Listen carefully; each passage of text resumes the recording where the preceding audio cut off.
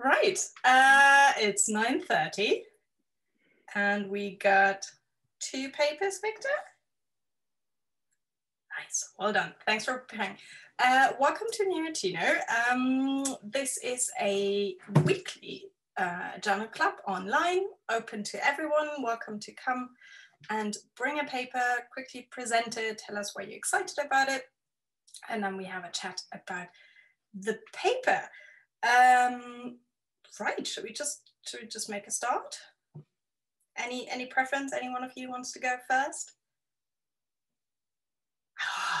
I, I can hear the volunteers screaming.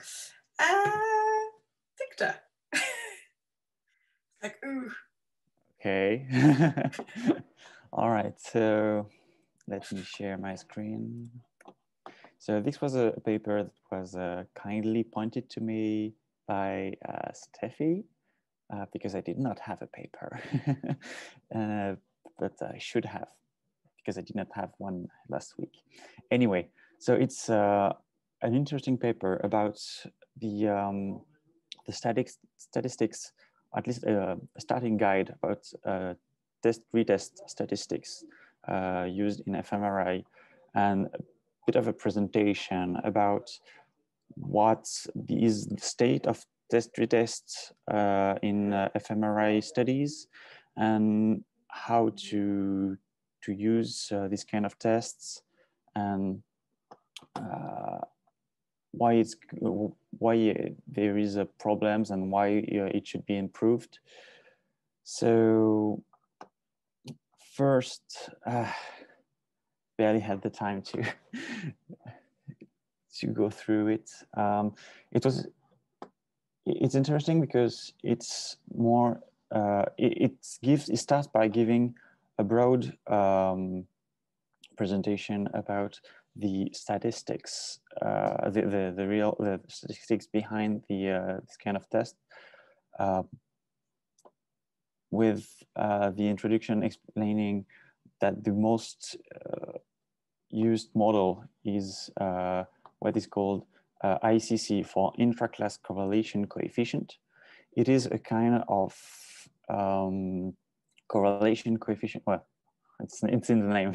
It's like a, a correlation uh, that is uh, taking into account the variability between uh, subject and intra-subject to, uh, to try to uh, model this kind of um, well, variability and to take it into account in the, the test that you are running and to just try to see the um, uh, what was the terms because they, they use very specific terms the consistency and the um, the validity of uh, your uh, your tests and to to uh,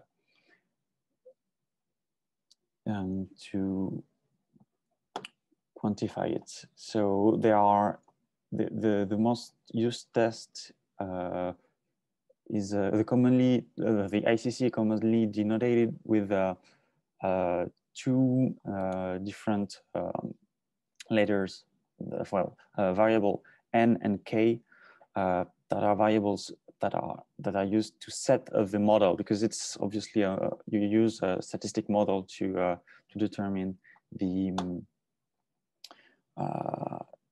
the, the, the type of um, of statistics you want to run. It depends on what kind of data you have, what kind of uh, uh, of test you want to run.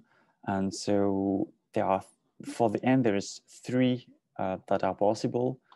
Uh, if you use uh, one, it's for when you have uh, what they call an absolute agreement. and it's when you do not take into account any um, source of error in your test. You just say they have to be the same. Well, we, we assume that they are all the same and they should be the same, well, uh, at least uh, within subject. Um, the ICC2 uh, with the n equal 2 uh, is when you add an, uh, a random effect inside. So this is the most broad one that you can run that are that that is one, the most uh, conservative, I'd say. Um, and there is the ICC with n equal three is when you have multiple uh, fixed and uh, potentially known uh, source of error. And so what they say a bit later is that when you're not really sure about what you're doing, well, at least not what you are supposed to use, uh, the, it's better to use the ICC2 because uh, it's uh, it's more um, it's more conservative. Uh, but then there is also the number the the number k that you can you have to, to run. It's it's uh, the uh, if I understood correctly re related to the number of observation you have. Uh, so I guess the number of retests you have on the subject. I'm not completely sure because uh, to be honest, it's uh, I wanted I went through it quite quickly, and the part that are more spe uh, specific to the statistics, uh, I think it's a good introduction, but you need to have a bit more background to fully take it in. Um, um, it's really it, it's linked to a lot of different other papers, so yeah, it's it's a good start. I think if you want to to get to to it, but it's a uh, quite short for when you want to when you have absolutely no uh, prior knowledge uh, on this uh, thing like I did. and but I, I, think it should be when, when you do this kind of statistic, you have to start somewhere and it's a, it's a good paper to start with. Um, and and th so yeah, the um, they also give like the the rule of thumb historical values that you can have with the FCC uh, with the ICC. Like uh, if it's under four, there is a poor. Um, uh, it, it's a poor value. It's between uh, 0.4 and 0.6. It's okay. Uh, 0.6 and 0.74, it's good. And above uh, 0.75, it's it's excellent.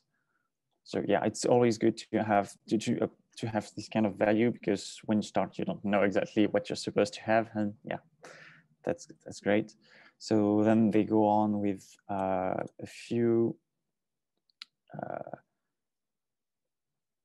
a few recommendation. Well, uh, a, few things to consider when you start to run an ICC. I won't go too much into details because the, it's the, the article is a lot like a list of different things to take into account and uh, to, to be aware of.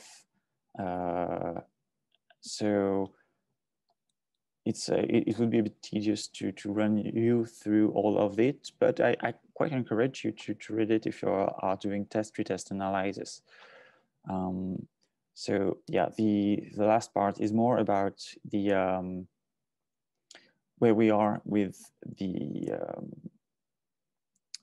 more specifically the fMRI studies and the different um, reliability, reliability, uh, reliability uh, and uh, of uh, test retest. Uh, well, this and the, they are listing once again here, for example, on these multiple paragraphs, what are the the studies that have the best and the worst kind of reliability with these test retests.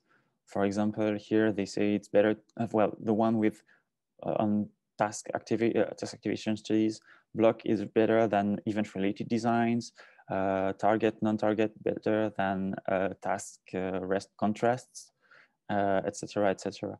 So yeah, that's, well, uh, it's hard for me to, to summarize everything. Uh, so I think I'll, I'll end up by just saying that it's not a long read, but it is the, uh, uh it's the start of a long one if you want to uh, fully understand the, the topic. And I really encourage you, if you're using this to, uh, to start by this one. It's uh, I think it's it's a great introduction to uh, to, to to the field. Thank you, Victor. Um, any questions? Okay. Michel? All right. Yeah, thank you for this. It's very interesting. Do you think is there like any any code that like uh, allow us to do this uh, intra-class correlation coefficient and um, that is available, or do we have to code it ourselves? Uh, I did not see it, but I'm sure there are libraries uh, that are available online. Uh, Python libraries pretty much, or well, R libraries, I'm almost sure, but I don't use much R.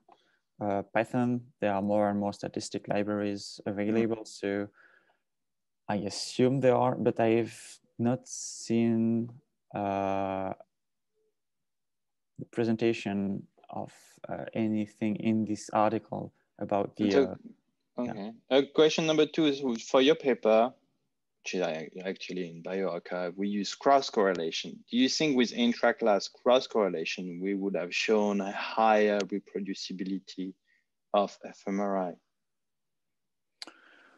Um, I'm not sure. The thing is, uh, the um,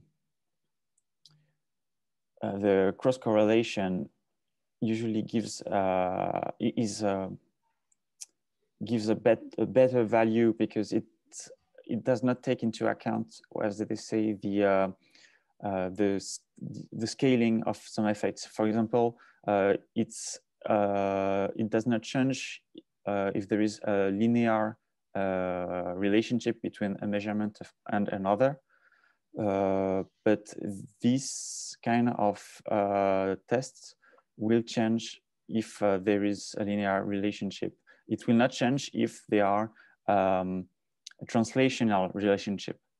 So basically, it will uh, um, correlation will change. Will not change if you have a relationship. Relationship, uh, for example, ax plus y, but this one uh, it will only it will change for this, but will not change if it's uh, a relationship x plus y. Uh, I don't know if I'm clear, but it's. See. Uh, so I see. So, yeah. Which one would you recommend? Uh, well, if we have to be honest and have a a good uh, something that is recognized as a the test that is supposed to be done with test retest, we should use this kind of uh, statistics. But uh, I'm not completely, um, well, I just discovered it, so I'm not completely okay. sure about uh, everything about it. Thank you. Leah. Okay. No, um, thank you, Victor, for the paper. And um, when you were saying that there was like a parameter that um, can take into account like uh, some noise factor, if I didn't understood mm -hmm. yes. well, I was thinking, um, so that this kind of approach should be used only for test retest within the same scanner, the same sequence, or is also something that we can use like uh, between these to compare different sequences or is beyond the scope yeah. like well, if we can find a like a correlate uh, to see like if, how much they differ is, can we use this also for that or no yeah sure. Uh, actually they are speak they, they talk about uh, the uh, different scanner different sites uh, ah, okay. and this kind of thing. Um, i don't remember exactly what they were telling about okay so it's possible. I was yeah yeah, yeah. it's i think it was something that i was thinking or uh... no no it's it's interesting. They also say that uh, it's there, there is a whole paragraph well uh, the small a small paragraph about uh, this the thing and the, also the uh, okay. harmonization between scanners and stuff and they send to other references yeah. Uh, to to say okay if you want to do this do that uh, check this uh, this paper so it's good because they send they, they talk about a lot of different things and but just briefly and link to the paper that you can go on to uh, to, to investigate more about it. Ah, okay, so I will have a look because it's, it's really interesting that you have an instrument to compare uh, the similarity or the agreement. Uh, yeah, between also in the fMRI that you have like a lot of uh, noise factors related to the sequence and everything that can be different. Thank you. You're welcome. Thank you both. Any more questions? No. Um, I have a quick question for you, Victor, and I appreciate that you read the paper briefly, but you mentioned that um, block design um, studies are better than event related uh, designs. Is that in terms of reliability or is that a general rule from this paper? Oh, no, it's, uh, uh, well, let's just look at what they say it shows that it say that reliability has been shown to improve for block rather than event-related designs. That's uh, exactly what they say.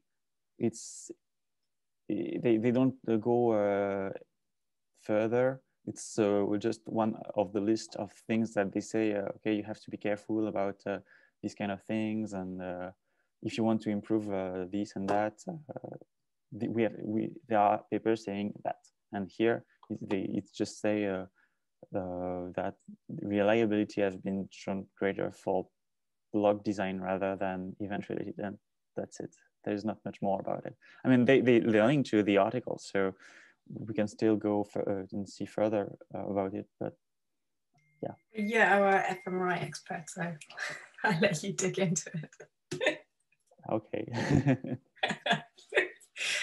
Right, if there's no further questions, we move on to the next paper. Leah, if you want to share your screen.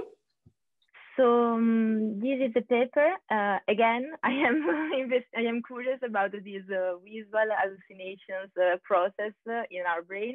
And uh, there was this paper published in Cortex uh, last week by Timothy Lawn and Dominic Seitz and so I was curious and I um, I read about that and um, this this time we are focusing um, in Parkinson disease and uh, the Charles-Bonnet syndrome. So like um, as um, mm, we have seen also in the paper I presented last week, um, hallucinations uh, can be present, especially in, in uh, the neurodegeneration disease.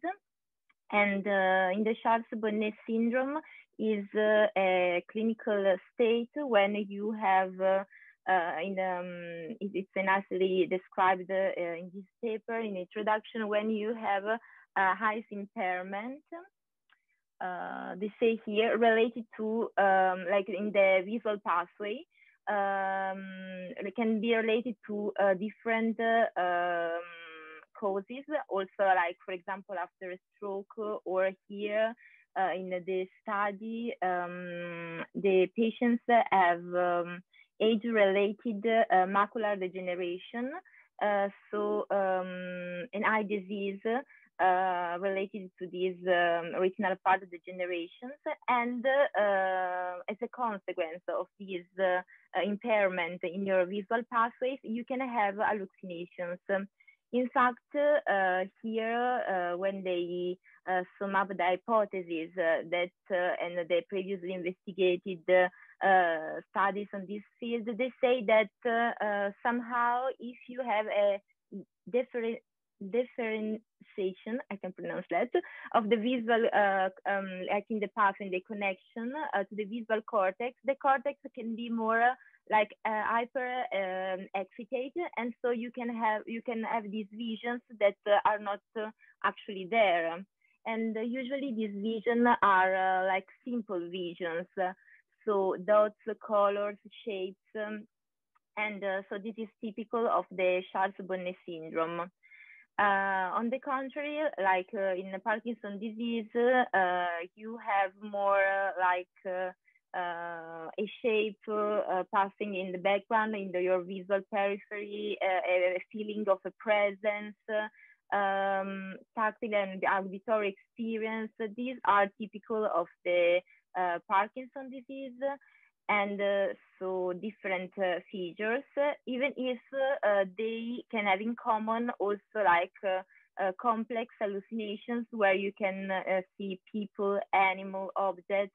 It's really nice here in the paper that they actually um, reported all the hallucinations that patients had to uh, give you like an idea of the variety, as also Michelle was asking last week, uh, that uh, can be like really like different. Uh, here you have uh, for each patient like a huge table where you can really have the feeling of this uh, the, of the content of the hallucination and uh, they can be like house they can be related to house animals um, shimmering glass colors sometimes the walls or words on a screen and the lights of printed um, white ores they can be like uh, there is like a huge variety. Uh, caterpillars text chicken is something that was in different uh, uh, patients, cats. Um, these are the Charles-Bonnet one, or in the Parkinsonian, you can have also faces, figures, uh, bears, head, um, again, uh, people, animals, faces, cat. So uh, both animal, uh, people, or like objects related to houses. And uh, in the case of the Parkinson disease, the hypothesis uh, behind uh, the hallucination um, manifestation is related to like a dysfunctional integration between the uh, attentional network, uh, the in particular the dorsal one, and the uh, visual perception. So like a kind of um, dysfunctional integration, like of attention and uh, visual uh, inputs. Um, and uh, the novelty of this paper is that they focused their MRI investigation on the cerebellum. Uh, because uh, there was also another study uh, related to schizophrenia where they um, found significant differences in the cerebellum uh, in uh, patients uh, who were like um, reported um, pharmacos resistant hallucinations. so they were like consistent in time and they found significant differences in the cerebellum. In particular, uh, using the in this paper, they also used the uh, SUIT uh, voxel-based morphometry that is uh, an SPM tool uh, focused on uh, um, the cerebellum. So you mask the cerebellum and then you do the comparison voxel-based using T1 images um, on the gray matter and the white matter. And uh, this approach is designed to be uh, really uh, precise in the location and in source in the registrations uh, between uh, uh, subject and study group. And you can also like investigate and correct manually the um, uh, the mask that they're using so you can overcome some issues related to uh, the so this segmentation. So uh, this tool is really designed to have the most precise possible classification and comparison between patients subjects um, in the cerebellum. And then they um, compared so um, so in this uh, the study group was uh, uh, is um, is not really it's a sizable group, 21 patients, uh, in which um, 16 were uh, Parkinson disease and so you have this group of about 20 patients, then is divided in Parkinson disease and Charles-Bonnet syndrome. And then you split again in uh, patients within each group who uh, have hallucination and who um, were not, were not reported any hallucination uh, process. And um, so here you have um, 12 patients of the Charles-Bonnet syndrome who reported hallucination and uh, seven Parkinson's disease uh, who reported hallucination. So this was the uh, data set. And uh, going to the results here, you have uh, um, reported the, um, the t-values of the statistics uh, of comparing uh, uh, the gray matter uh, between patients, so hallucination with um, non-hallucination, mixing up the two groups uh, two groups. And as you can see here, there are more in the eight and seven lobus of the cerebellum and in, in um, also in the crus one. And uh, here we have a more extended part on the right uh, side. And uh, if you then split to the uh, Parkinsonian and uh, Charles-Bonnet, uh, the difference was here in the crus one, where we have uh, so we have like we have um, um, less gray matter um, in uh, in patients, and in particular more in uh, Parkinson, in the Parkinsonian disease. And um, then, if you then look to the analysis, um, focusing on the white matter, uh, we uh, they found um, a significant difference, so a loss of white matter in the medulla and uh, again, uh, this was driven by the Parkinsonian disease uh, group. And then they also compared um, if there was a correlations of uh, regions uh, reported uh, gray matter um, atrophy and also white matter volume loss. And they found really good correlations. Is, is, here is reported in the eight uh, uh, hemisphere cluster in the left cerebellum.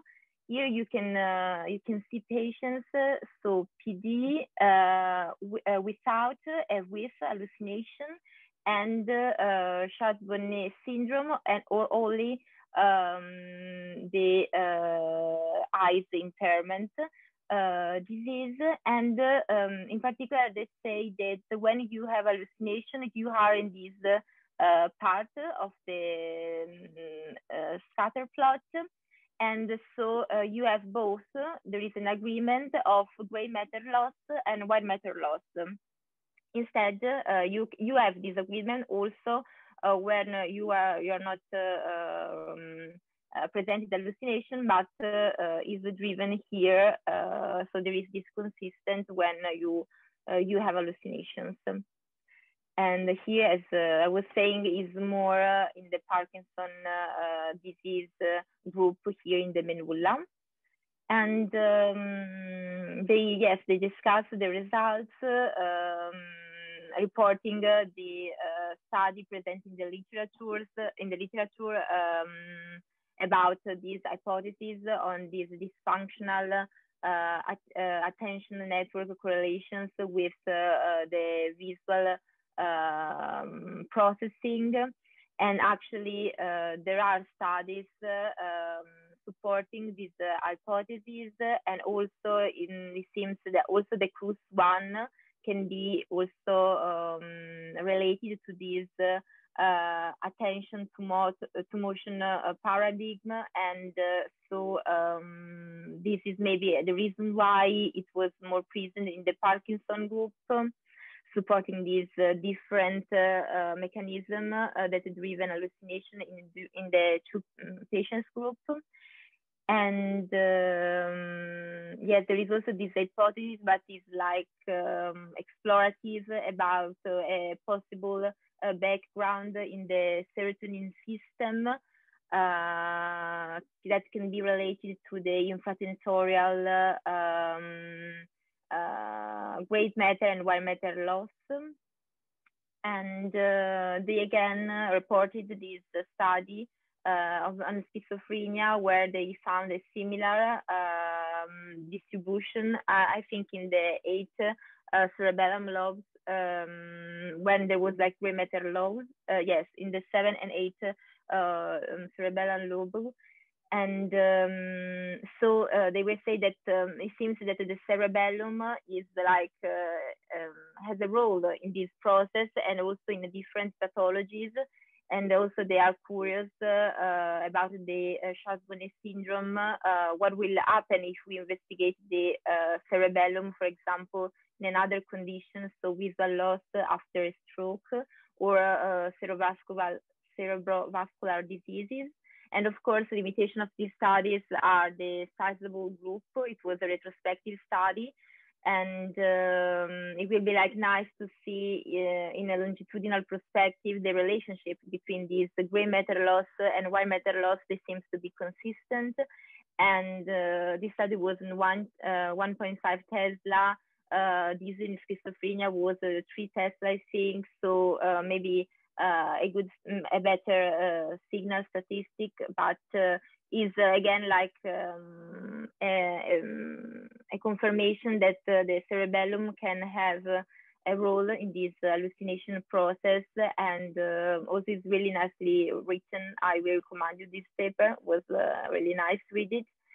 And um, uh, yes, this was the paper. If you have any question, I, I try to answer. Thank you, Leah. any questions? I do. Okay, go for it. Can I? Yeah. So it's so interesting. Uh, and I have so many questions actually, but I limit myself just to two questions. Um, so the paper shows the um, anatomical difference within the cerebellum between Parkinson disease uh, and uh, Charles-Bonnet syndrome patients. And I was wondering, um, is this different related to some uh, uh, symptoms manifestation difference?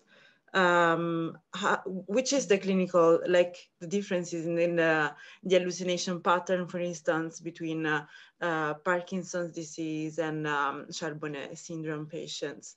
Why they did they um, choose these two patients group? Okay, so actually uh, there were uh, differences like in the Crus one and more driven in the medulla atrophy, but there was also like a wide overlap between the gray matter loss. So like here in this um, in this figure, uh, you you can see like the two conditions, and actually it's really similar uh, uh, where uh, they have like gray matter loss. In particular here in this uh, ventral part uh, of the cerebellum. So actually, they are consistent. So they are when uh, um, when they show these results, they are putting together Parkinson's disease and Charles Bonnet, who uh, um, who didn't present hallucination uh, versus uh, the hallucination the hallucinations one. So. there are differences, but here they are more focused on the similarity. Indeed, they choose these two different uh, groups because uh, there are like um, I can say solid different hypotheses about the process behind what driven hallucinations and um, and um, so um, but they found this uh, the same involvement in the cerebellum that can uh, mean that uh, there is a common process there, but also some differences. For example, in the Crus one, that can be more related on the dorsal uh, um, attention network.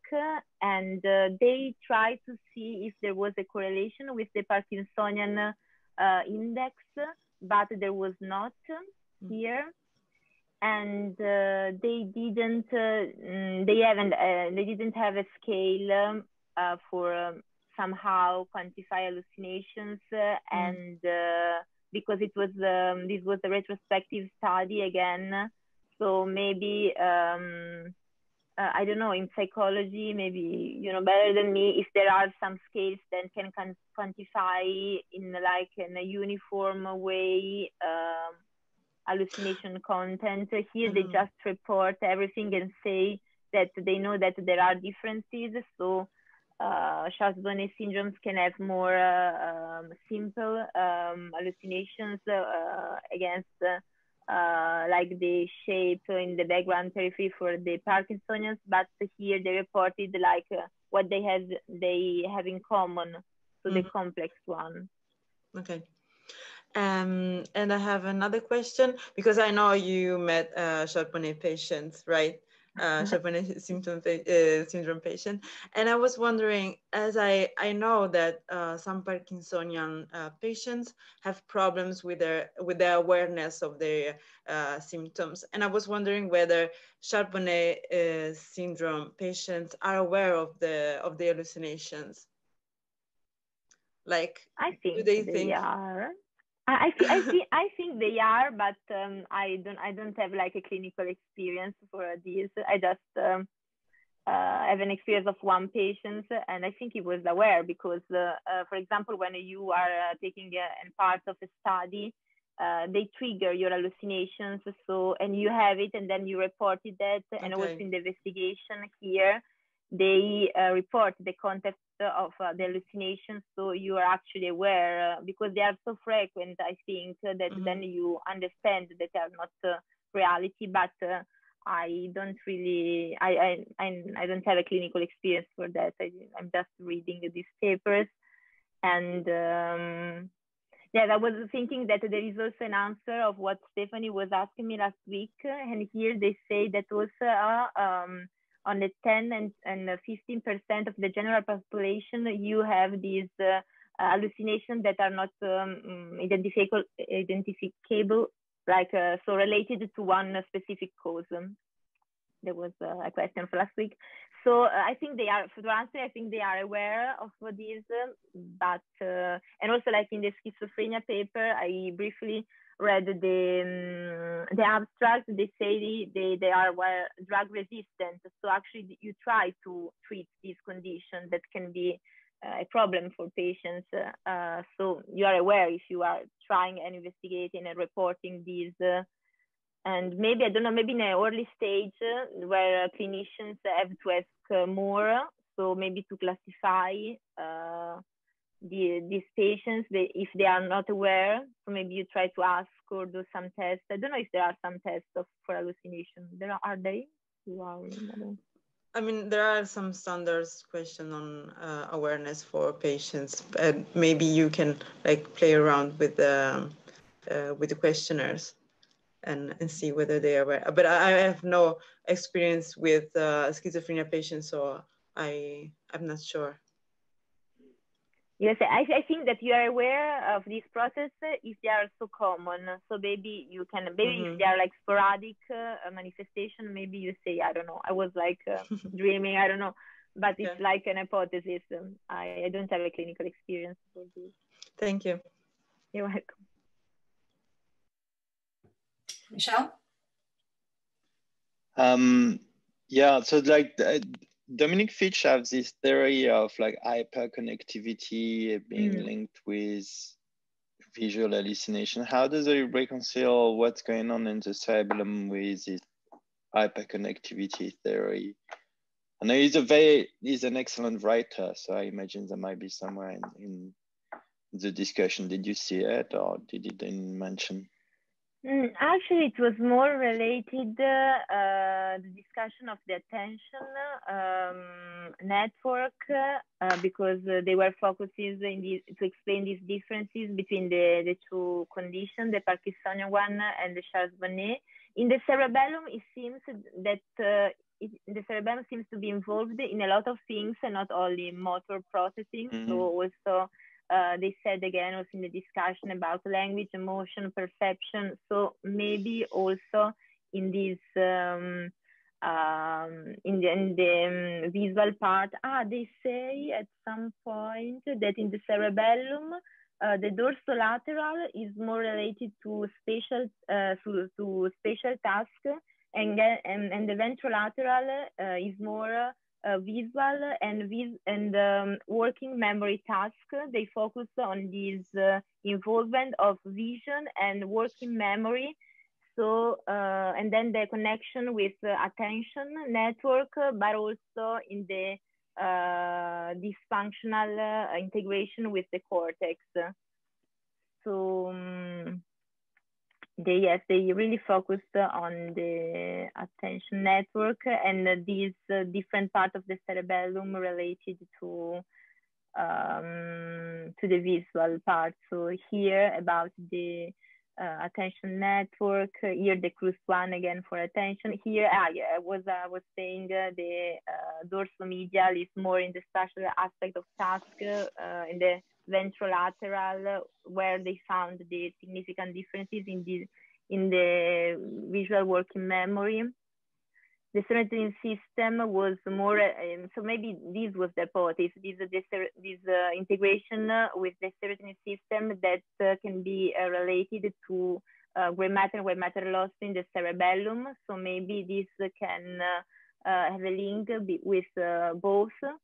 So PD and eye disease, maybe this could be like something that is behind the both conditions, but they say that is like an exploratory uh, hypothesis. So they um, it's not like really directly connected.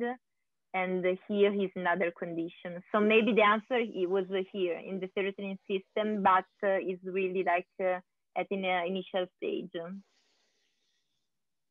Mm -mm. Yes, and they also talk about the caudal raphe nuclei and but um, and this integration, but um, I really did. Um, it seems like really an explorative uh, hypothesis, um, and then the correlation. Um, so maybe it was here. Well, where where are they trying to answer uh, the question um, you were asking? So, yeah. Hmm. But um, I really, um, yeah, I read that, but um, I'm, I'm not, I, I don't know about the, I don't really know about the sorting system. And uh, they also like uh, said that there is also sometimes uh, uh so a genetic correlation that you can have with these uh, findings that can be related to psychosis. And they try to link these correlations also with the cerebellum.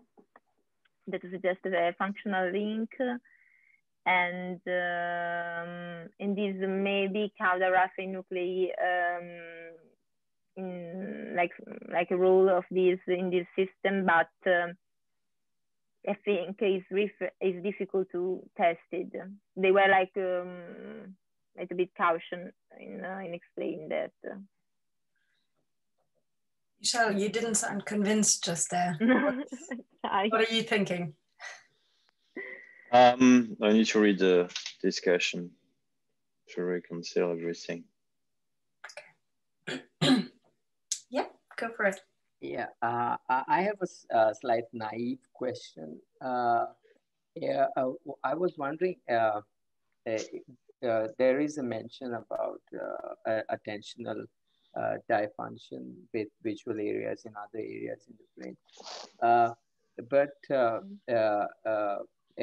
what appears that the individual should be attending to the uh, to the hallucination certainly so that they can recall it at the later point of time.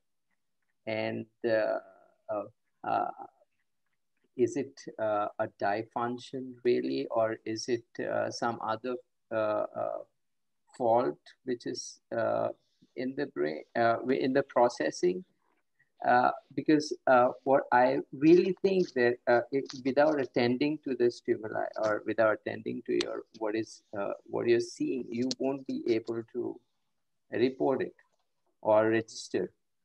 Uh, it's something like dreaming, and I, I, see colors, pictures, and I'm flying, but I won't be able to. If I'm not attending, I wouldn't be able to register uh, that's one point. And also, I just wanted to ask if do do we uh, uh, did we have ever tested the uh, patients uh, with schizophrenia or with Parkinson's at the uh, in the lab where we check for the brain states they are in when they hallucinate or for something like that.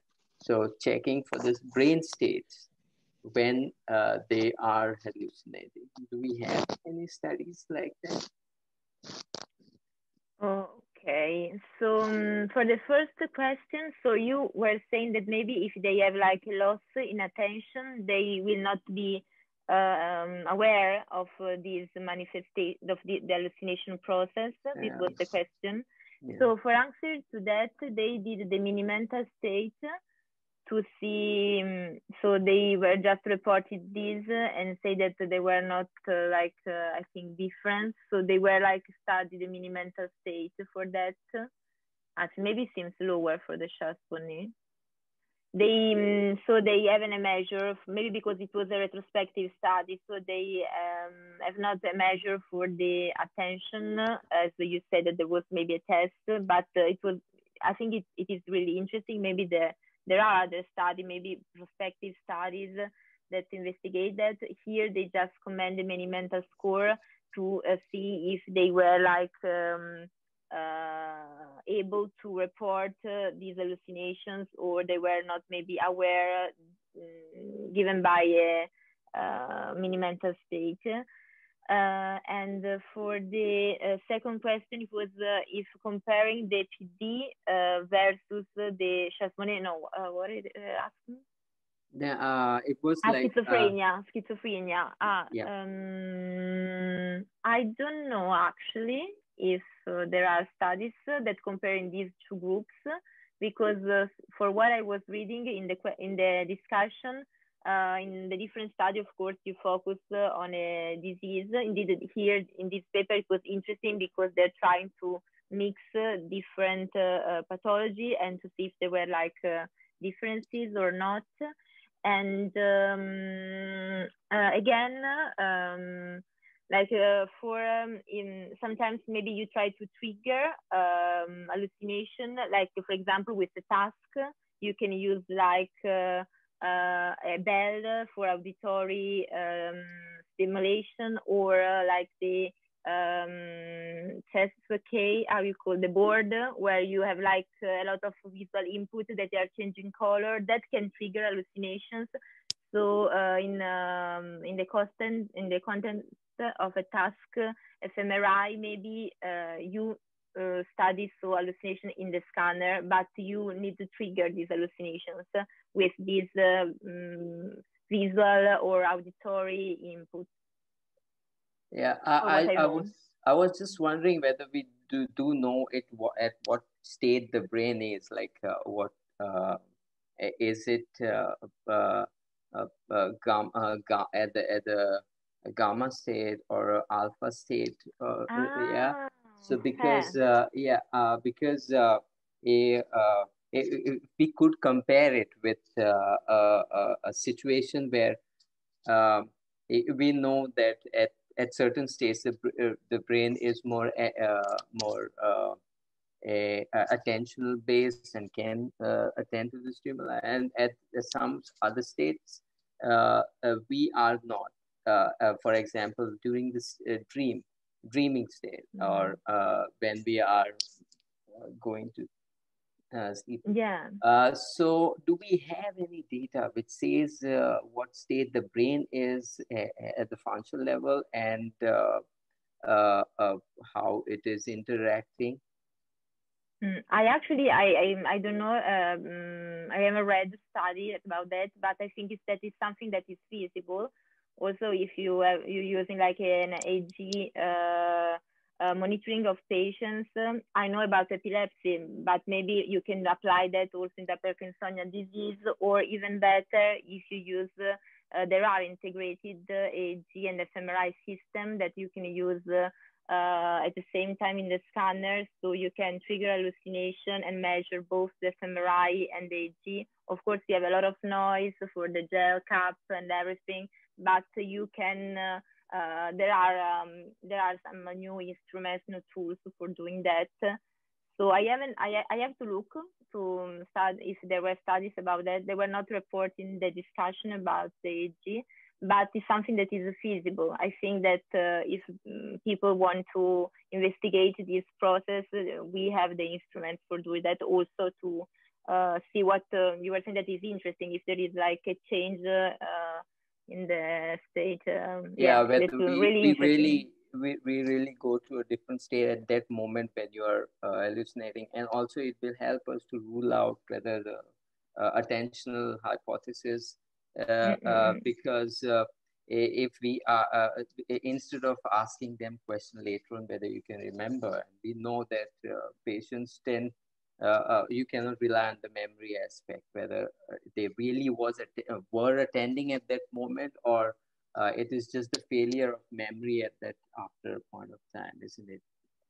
Yeah, no, I said that it's really interesting also in comparing these patients, how the uh, maybe the G recording is during sleep, uh, if there are some Yeah, similarities, uh, like because they also don't like some patients. Uh, I know, like um, uh, what's the name of it?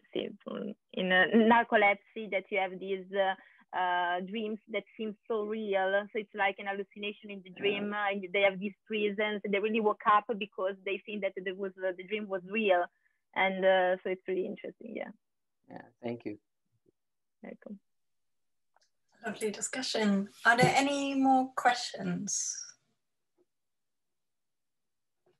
No, it doesn't seem like it. Okay, lovely. Thank you very much uh, for bringing those two papers this week. And I wish you an exciting week in science and hopefully see you next Monday morning again. Have a good week. Bye. Bye bye.